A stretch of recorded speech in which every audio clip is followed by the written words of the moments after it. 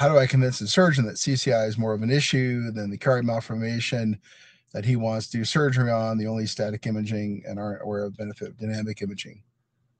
Don't know Cassidy, you got to get with doctors that know what's going on. And if you've got a surgeon that doesn't understand craniocervical instability that wants to decompress your Chiari, I'd say find a new surgeon, meaning that uh, most of the surgeons in this space that are very experienced understand that those two are comorbid. So the answer, the only answer I can have for your Cassian is try to find a surgeon that knows which way is up.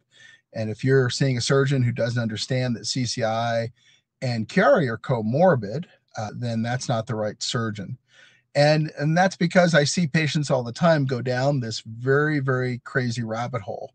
And that crazy rabbit hole is they will get their Chiari decompressed, which they probably, frankly, don't need to do uh, because their Chiari is not causing problems. It's the CCI plus the Chiari. Then their CCI gets worse because they're destabilized. And then they're all scratching their head saying, I wonder why the Chiari got worse. Well, the Chiari got worse very simply because at the end of the day, uh, it wasn't the Chiari causing symptoms and you made the CCI worse. So I would very strongly recommend you find another surgeon.